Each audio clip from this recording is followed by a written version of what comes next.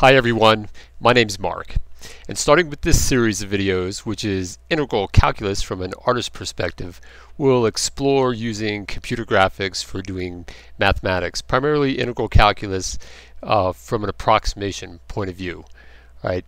So it is well known that uh, since Newton's days that you could calculate integrals and get exact volumes or areas, but as most of you know, or many of you know, that uh, sometimes an exact integral is very, very difficult to do. Now, for common shapes like this sphere, which is actually, uh, in this case, it's actually there's actually a sphere within this sphere, or for this, which is just a quadratic curve here and a linear curve extruded up into the z uh, dimension calculating, approximating integrals with computer graphics now is becoming a reality. Just maybe one more generation of computers if I wish I had a faster one. But um, so many times a good approximation is all that's really needed. So let's just see what we can do with what we currently have. So let's get this running. And what I have here is this cube and it's called the approximator cube. All right.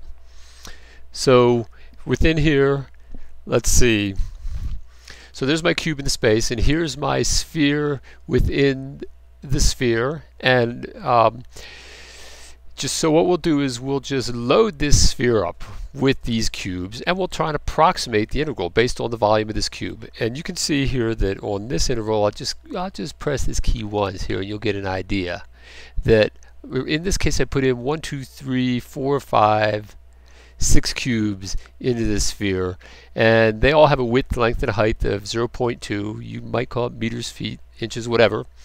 And this is the uh, volume of those of course and there's the approximate integral associated with those six cubes and you might verify that the 6 times 0.008 into this scene.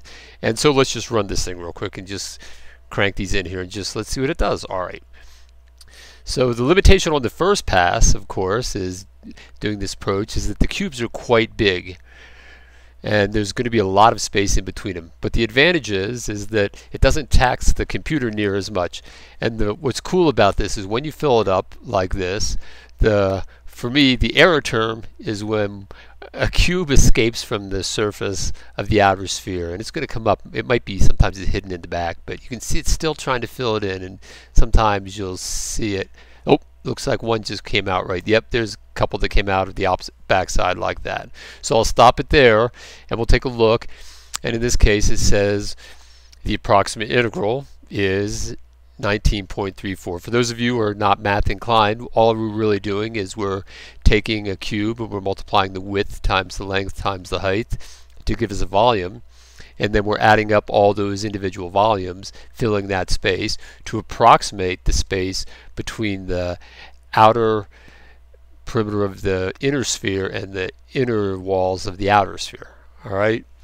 So we get 19.3 for the first approximation. That's quite a rough approximation because I've calculated the actual integral to be approximately, uh, I think it's around 29. I think the inner sphere has a radius, for those who want to verify, has a radius of 1 and the outer sphere has a radius of 2.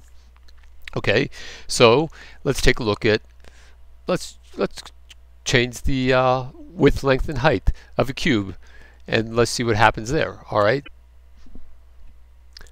So, so what we have now is I've changed the width, length, and height to be 0.18. Cubes are slightly smaller.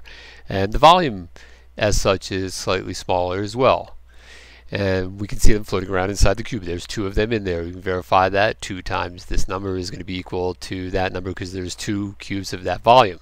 Right, let's run these in here. You're going to see that uh, here's where processing power does make a difference because I'm adding a significant number of more cubes to the scene to approximate the integral. And as it gets maybe halfway filled, it starts slowing it down a little bit. Of course, I am recording this lesson at the same time, and that's taking some processing power as well. But let's just see what the approximate integral is this time. See if it gets how much closer at least.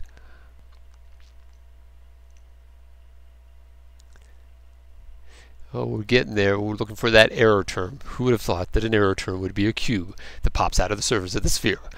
Okay, so we'll look, if you're an artist like me, this is the way math should be done. I was born looking at colors and patterns, and I assure you, equations for me when I was a kid just didn't cut it. So I've been waiting for a day like this. In fact, maybe this is what Newton had in mind. I'm not sure he had fancy equations in mind. Okay, let's see. Just getting there, looking for an error term. Yeah, an error term, that's right. All right, let's see. Slowly pushing them in there. And you can see it's looking more like the shape of this sphere already. It's still squeezing them in but you can see the uh, value. Let me see. It's trying.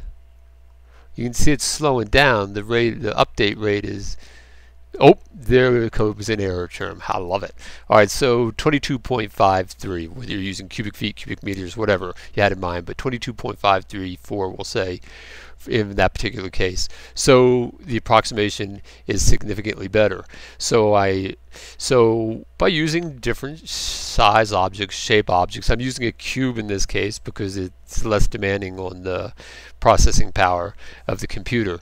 But we can do the same thing for any other size objects. In this case, I can generate all kinds of objects, whether it's, and this will be either in polar coordinates, Cartesian coordinates, but I can do the same thing. I can take the cube and it can fill up this volume area right here and approximate it that well way as well. So perhaps mathematics in the future for calculus won't be a calculator anymore.